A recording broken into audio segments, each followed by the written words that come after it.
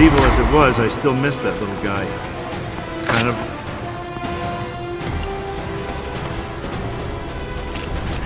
One one's for you, Chet.